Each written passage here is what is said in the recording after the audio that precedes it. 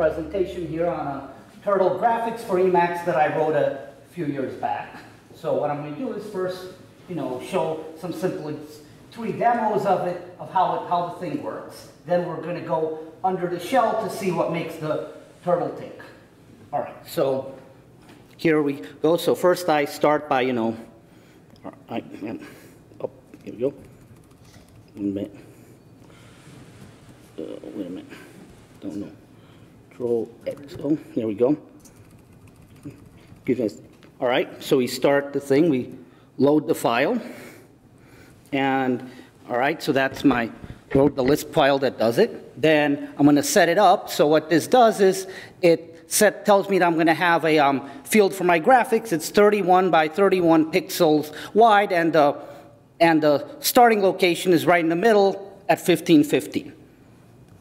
Do that. All right. So now I have a turtle. You can't see the turtle yet we'll, in a moment, but he's sitting in the middle of this pond, and I'm going to tell him to move move, so he's seeing the pond facing north, tell him to move 12 units. Okay, now let's have a look. Render it, and there you go. He moved up 12 pixels. All right? Now, and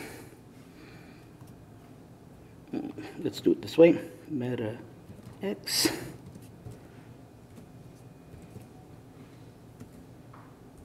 And there we go.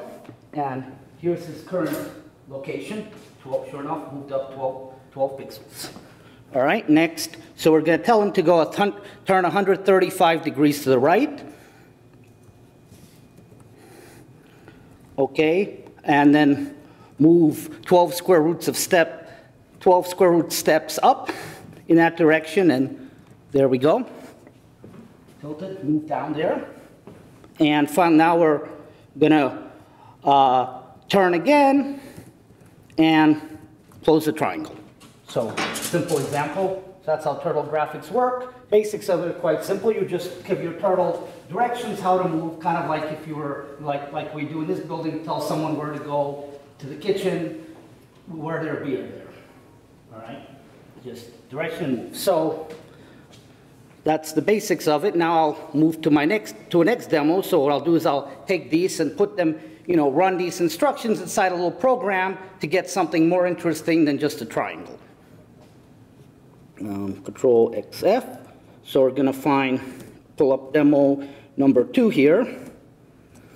All right, oops. And was it control, what, what, what plus? Control X plus. Control X plus, okay. Okay, there we go. I had rebound on my computer. Okay, all good. So, all right. So now I'm going to give the, sorry? I learned something, control X, control Y. Yes. All right, and then control XC. So now I'm giving him a bigger pond so I can make some real pictures. It'll take a little longer to render, but all right, so what am I gonna do? Well, now I just put a simple loop. So he's gonna, you know, move, move, and then, then turn 162 degrees and just keep doing that 20 times to make a star.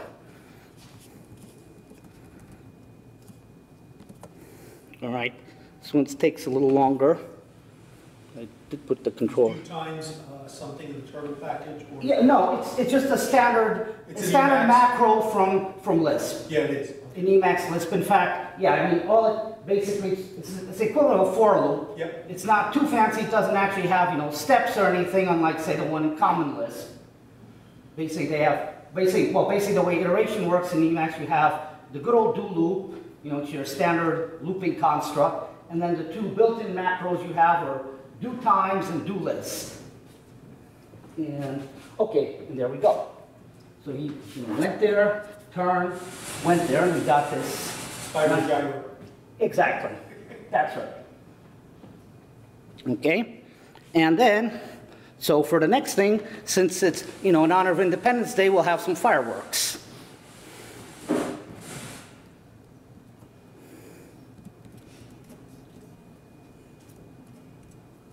All right, now, X. You probably don't want to make it bigger than that. All right, so, well, actually, first I want to um, introduce something, another feature of my turtle package, which is the remember. uh, my tractor turtles. So you've all probably heard the phrase, it's turtles all the way down. Well, that, so the way you get the turtles down is you have a stack of them. And what it does is that if you tell it remember, it remembers the position it's currently at. And then you could, you know, do something, move around, doodle whatever, and then if you tell it return, it will remember, return to the last place it remembered. So, and I'm going to use that to draw a little pointy star.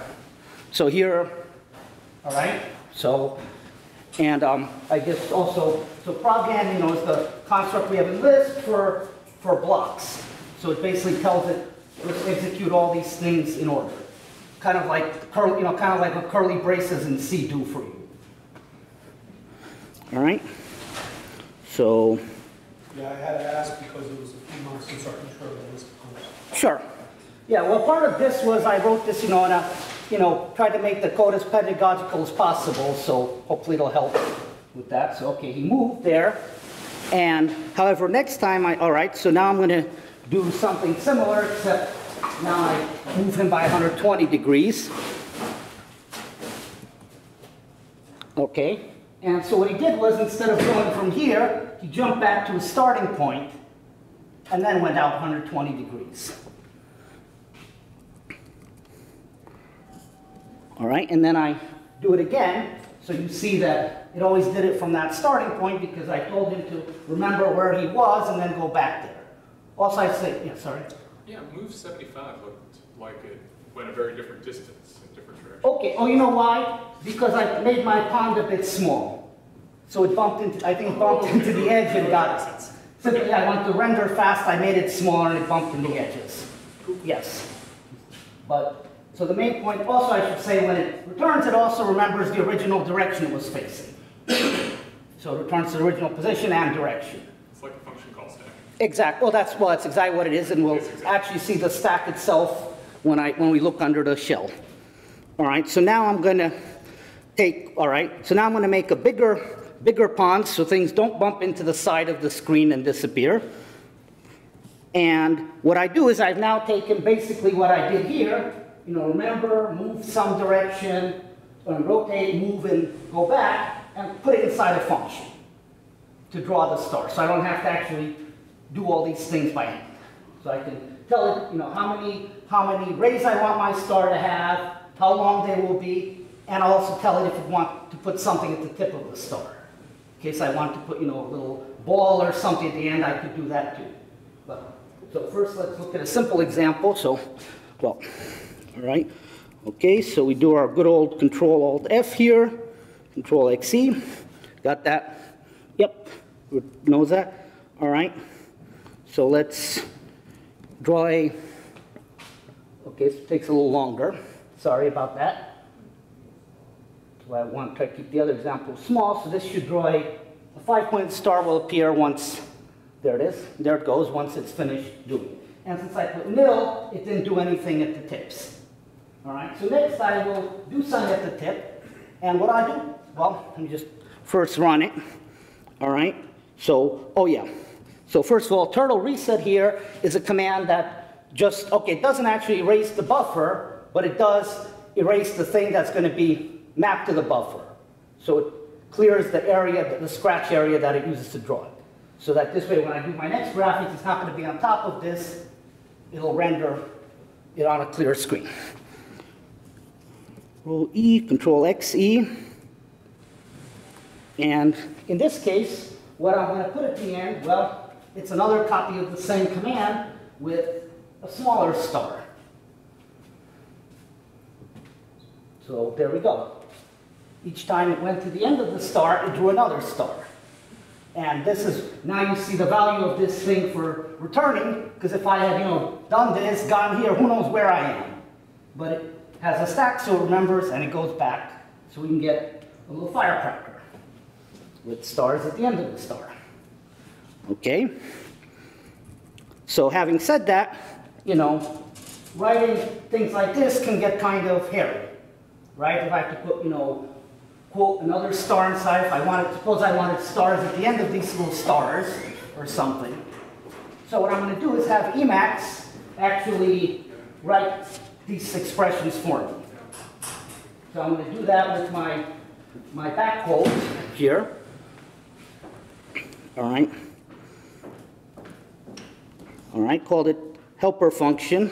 So let me just first run it and show what it does. So, so here I give, okay, moment, control, um, no, what was it, MetaX, um, eval, print, last S-expression. There we go. So what it did was, I just told it, you know, I gave it this list, and it automatically put in all the stars and the quotes in the right places. And the way it did it is, well, first of all, you know, okay, I have to recurse, o- loop over, recurse over my list, and basically if my list is empty, there's nothing to do.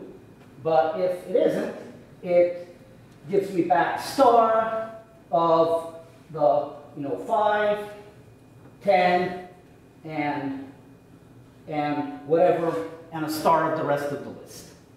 So, does anyone want me to say a few more about the back quotes, or? Okay, so that, yeah. I'm lost with the comma, what's the comma? Oh, okay, so the way a back quote works is, see, a regular quote would just quote the whole expression. Now, if you use this backwards quote, what it does is, the com, it takes, wherever it sees a comma, it, it first evaluates it, then plugs that in. So the reason is, you know, when I gave it this, I didn't want, it- if I, I put a regular thing, it would just put car of, car of X. I don't want that. I want to actually take this list, take the first item five and plug that in there. And the next thing is the typical use that, that macros get put to, that backwards get put to is defining a macro. So when I do that, all I have to do is, a few control XEs here. So I just tell it that list, I don't even need to put the quote on this anymore, because the way macros work. And it'll give us a firecracker where it starts with, you know, six, six things of length 60, then has a six five-pointed star on the end of each and a four-pointed star on the end of each five-pointed star. So there we go. You get to see, see recursion, to view the recursion, recursive fireworks. All right. Also snowflakes. Or, well, yeah, but since it's, since it's July, you know, if this, I was giving talking for, for December, then it would be snowflakes.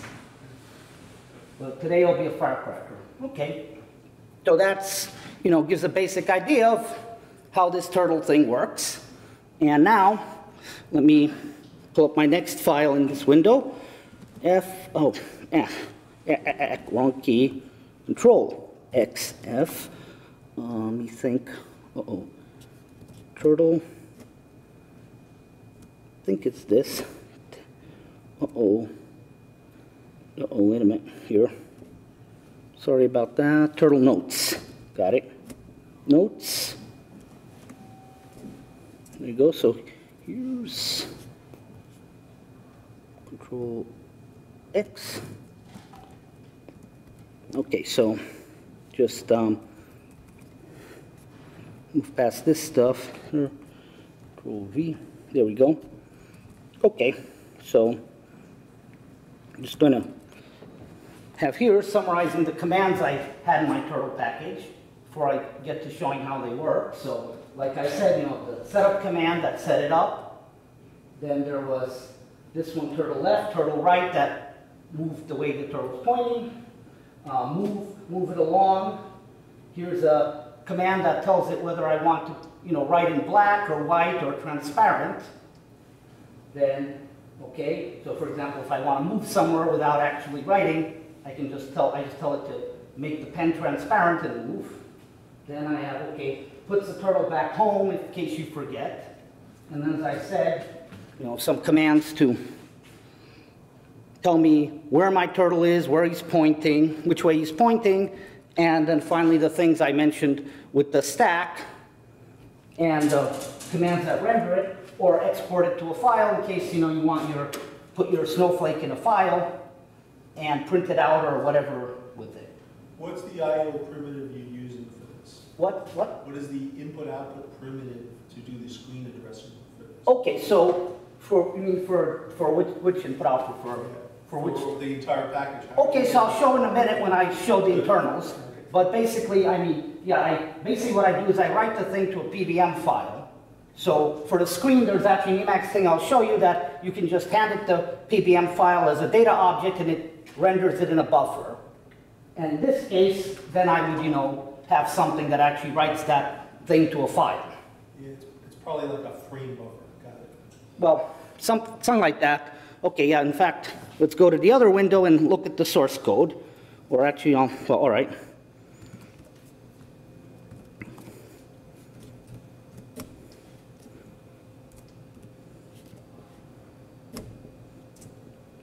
Oops.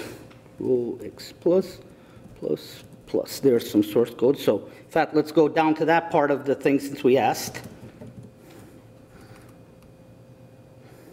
Well, yeah, we'll start with this one because this explains the graphic format. So PBM, just out curiosity, how many people here have, see, have used the PBM file? Okay, all right, so for all but, for n minus two of you, what they are is the, it's the simplest graphics format ever invented. Very wasteful, but very convenient. So all it is, is you store your, your file, let's say for black and white, as literally um, an array of zeros and ones. And the way it works is you put a header that tells me um, basically what size of what size of picture you have. You know, this many pixels wide, this many pixels high. The same parameter we had. Okay. And then you just put this the series of zeros and ones. So for example, if you told it, you know, so all right. So that's, that's all it is. And so this command loops over a certain buffer in Lisp that I'm using to actually store what the turtle is doing and just writes out those zeros and ones to a header. Write, out, write them out to, um, well, what do I write them out to? Let's see here. Mm, mm, mm, Current buffer, blah, blah, blah. Okay. Yeah, from turtle pond, blah, blah, okay. Oh, I guess I haven't gotten to that part yet. image data. Okay, so it calls the thing image data. Ah, place to store, yes. Image data, and there's a, okay, that exports it. That's right, it exports it as, that's right, it returns it to me as a thing called image data. However, when I want to put it on the screen, then I call that thing, and I use a command called put image. So, you know, so, well, put image and create, well, create, okay, it actually works in two steps at Emacs. Dumping it to a file. Uh, almost, but it's kind of an internal memory file, not a, you know, regular disk file. So, it, I mean, okay, first I, this is just to tell it, if I do have an image, delete that, so I don't, you know, clutter it up, but then, so I call this export thing, that gives me the file basically as a Lisp object. This is this PBM file as a Lisp object, and create image takes you know, takes that graphics file and tell it to the PBM format. And there's a third parameter, which I forget exactly what it is, but important things I have. Give it the graphics file as a Lisp object and what type, and it will create a Emacs Lisp object, which is that graphic. However, that automatically doesn't show anywhere. That's why I have to use put image to, to take that image that create as an image object and actually plunk that down in some buffer somewhere. So I had this, you know, I had this buffer that I was showing on this screen earlier, which was called turtle display. So what I did was I told it to go into that buffer and plunk down the image there. So this is actually a generally useful thing to know in Emacs if you don't care about turtles. If you want to, you know, put nice pretty pictures inside your Emacs files, you can use this put image, put image, create image combination anywhere. So let's say you had, you know, a file from a disk and I wanted to, you know, put a picture of somebody in the file. This is how I would have it, have Emacs inserted. Okay. So, oh, all right, so that's that. So next I just wanted to show a little bit about, like I said, how the turtle actually creates, because actually the way it creates the graphics. So I'm going to go back to my, well, first of all, any question about this before I go back? Okay, so going to, yeah. Uh, actually, I'm curious, what are the formats Create Image supports? Okay, so I know these are one.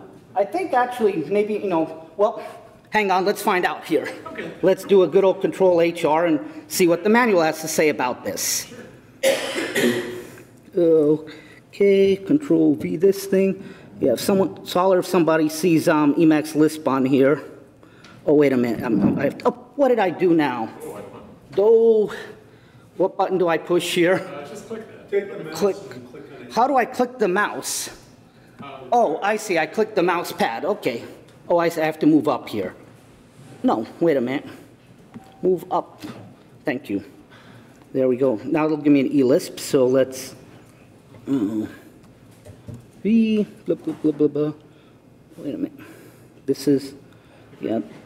Well, oh, yeah, well, okay, fine, I'll look for it, yeah, yeah. So I would have seen it. E-Lisp, wait a minute, am I, where am I here?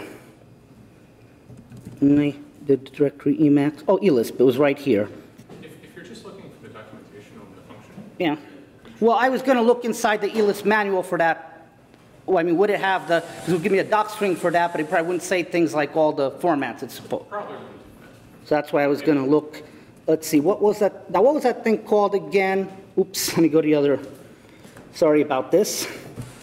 Um, no, no, no. So, I'll be, no, Control G, Control XB, sorry about that. Yeah, Turtle eLisp, it was, oh yeah, create image, right. Let me. Image, look where was the appendices, there was an index. Create image. Create, okay. Creating, create image.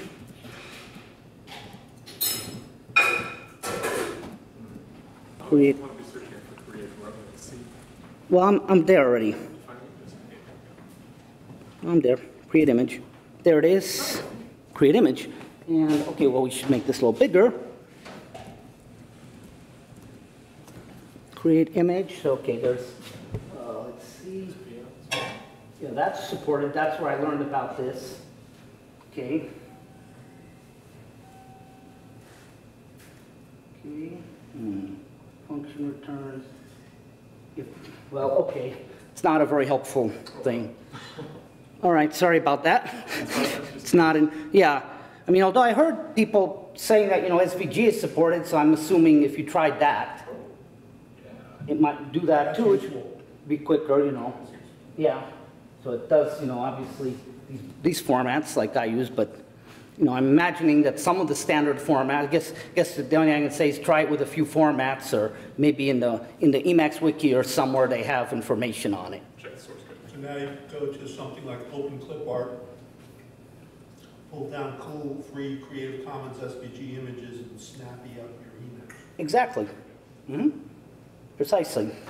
So here's, so I figured for, for most people, this may actually be the most useful part of the talk. So that's why I want to spend a little time on this. Okay. So.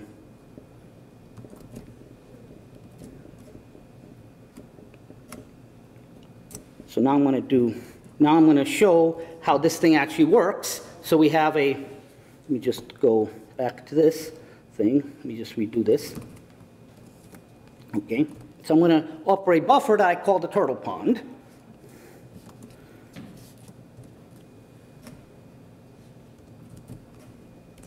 All right, and now you'll see how this thing works. So the idea is I'm, you know, Emacs is intrinsically an editor, so this is how I use an editor to draw pictures. Right? So, oh, oh, no, no, no, Control X, oh. I'm not, no, I'm not trying to put, put loving messages to my buffer. All right, so move 12, there it goes, move 12 like this, right? No, all right. Turtle render obviously, do- well, turtle render again was that thing that read this out, read this into the, into the graphics format file, so not, nothing to see there. Then I move, right? Okay, and um, rotate again. Up, up, up. Okay, oh, I forgot to, well, all right. Kind of, okay, even without the beer, the turtle got drunk, but there we go. So kind of the obvious thing, I just had it do my drawing just by moving around and, and um, you know, drawing stars in this buffer, which I then wrote out zeros and ones as simple graphics file and rendered it. So that's basically how the thing works. And so I'll just wrap up by looking again at the source code and see if there's any other interesting things to note there. Um, source code, turtle.elisp. There we go. So, like I said, you know, okay. No, go to stop, control, meta, V up. Oh, oh, oh, what would I do? Oh, command. Oh, well. Let me just redo, redo this.